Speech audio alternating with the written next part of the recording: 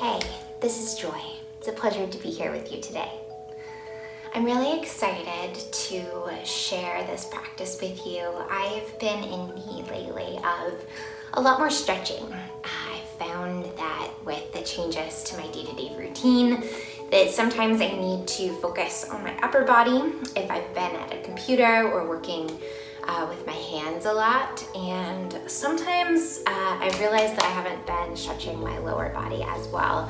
Um, I've been doing a lot more running, uh, trying to get outside with my dog when I can.